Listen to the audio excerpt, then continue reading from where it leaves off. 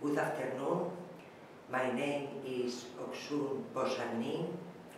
My civil name is Virginia Espa. I am a photographer. I am a student of the Supreme Matriarch Ji Kwang Dae Poep Sa Nim. The teaching I'm going to read is about human beings' relations with nature.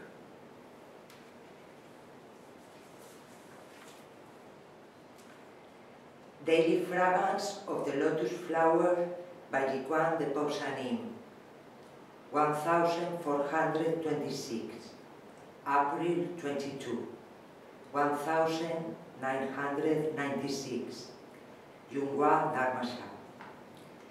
Protecting and taking care of the world of nature from the world of human beings is just like protecting and taking care of ourselves.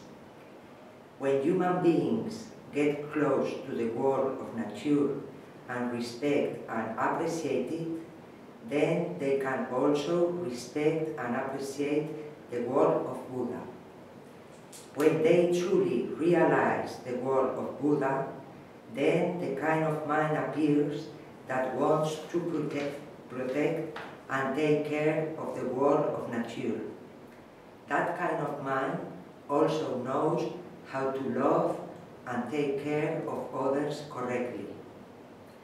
The world of human beings, the world of nature, and the world of Buddha are all connected.